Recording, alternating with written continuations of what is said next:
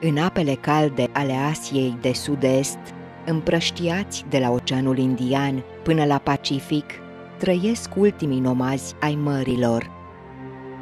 Atunci când ajungi în acest loc, ai senzația că ai ajuns față în față cu un trib pierdut sau că te afli într-unul din locurile despre care povestește Jules Verne. Trăiesc pe ape turcuaz, mustinda viață. Atracția locului nu o reprezintă însă natura, ci oamenii. Membrii tribului Bajau din Indonezia sunt primii oameni din lume la care s-a observat prezența unui modificări genetice care îi face apți să se scufunde la adâncimi impresionante de peste 60 de metri și să își țină respirația pe durata unor intervale de până la 13 minute. Chiar dacă nu coboară zilnic până la aceste adâncimi, acești oameni își petrec sub apă ore întregi în fiecare zi. Oamenii Bajau duc o viață nomadă, trăind practic pe niște bărci sau plute. Se hrănesc cu ce le oferă natura, iar cel mai adesea își culeg hrana din reciful de corali. La fel au procedat și strămoșii lor de multe generații. Vreme de mai mult de o mie de ani, membrii acestui trib au trăit în apropierea apei și și-au câștigat existența datorită resurselor oceanului. Capacitatea lor de a efectua scufundări la adâncimi impresionante, fără a avea nevoie de aparatele de respirat autonome pe care le folosesc de obicei scafandrii, este datorată unei adaptări impresionante. Oamenii de știință au constatat că, în medie, splina unui membru al tribului Bajau este cu 50% mai mare decât cea a unui om obișnuit. În mod tradițional, membrii tribului Bajau colindau mările Asiei de Sud, fiind numiți nomazii mărilor. Întrucât activitatea lor de zi cu zi presupunea dese scufundări pentru culegerea scoicilor producătoare de perle sau pentru vânarea unor specii de animale acvatice, organismele lor s-au adaptat în timp la aceste condiții. Ulterior, adaptările s-au transmis la urmași. Unii dintre membrii tribului Bajau nu au cetățenia niciunui stat, fiind născuți pe mare și trăind majoritatea timpului în embarcațiuni.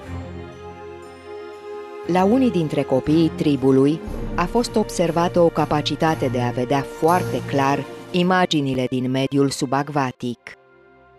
Aceștia pot vedea sub apă de două ori mai bine decât orice alt om, astfel încât prada nu prea are șanse să scape odată zărită. Dacă o persoană obișnuită poate avea rău de mare atunci când este nevoită să călătorească la bordul unui vas, unii dintre copiii acestei neobișnuite comunități se confruntă cu răul de uscat atunci când părăsesc mediul în care trăiesc în mod obișnuit. Copiii nu merg la școală, iar izolarea față de restul lumii le permite să ducă un trai simplu, așa cum au învățat de la predecesorii lor. Femeile obișnuiesc să-și acopere fața cu o pastă făcută din frunze pisate, tapioca și apă pentru a nu se bronza. Nimeni nu știe cu exactitate de unde au venit acești oameni sau de ce au optat pentru acest tip de viață desfășurat exclusiv pe apă. Există două teorii. Potrivit uneia, ar fi originar din Filipine sau Johor, Malaezia. Conform celei de-a doua teorii, că ar veni din arhipelagul Riau, Indonezia. Unii dintre localnici cred sincer însă că sunt descendenți ai gărzilor regale din sultanatul Johor indiferent care ar fi originile lor, de secole duc o viață de nomazi. Fotograful britanic James Morgan a citit în presa internaționă despre un grup de nomazi din sud-estul Asiei care au supraviețuit tsunamiului devastator produs în Oceanul Indian în anul 2004. Morgan a decis să-i cunoască personal pe acești oameni din cadrul tribului Bajau și să descopere legătura lor unică pe care o au cu apa. Ei au înțeles oceanul atât de bine încât au știut înainte de producerea tsunamiului cu câteva zeci de minute. Nimeni din grupul lor nu a avut de suferit în acele momente. Au știut să stea la adăpost, a declarat Morgan pentru Business Insider. Viața lor este atât de legată de apă, încât timpul îl măsoară în funcție de maree și nu numără orele și zilele. Pajau trăiesc în mod tradițional în bărci lucrate manual, numite lepa-lepa. Vin la țărm numai pentru negoț sau pentru a-și repara casele plutitoare. În mod tradițional, acești oameni sunt vânători și culegători, principala activitate fiind pescuitul. Sunt scafandri iscusiți și înnoată la adâncimi pentru a culege castraveți de mare sau perle. Morgan a descoperit faptul că tribul se luptă să se întrețină și să supraviețuiască, mai ales după ce în ultimii ani autoritățile din Filipine, Malaezia și Indonezia au implementat tot felul de programe prin care încearcă să îi forțeze pe acești oameni să rămână la țărm și să se supună legilor și reglementărilor în ceea ce privește pescuitul. Tehnicile destructive ale faunei oceanice utilizate de către Bajau au fost folosite în timpul celui de-al doilea război mondial, atunci când soldații americani ajunși în această parte a lumii le-au prezentat celor din trib dinamita.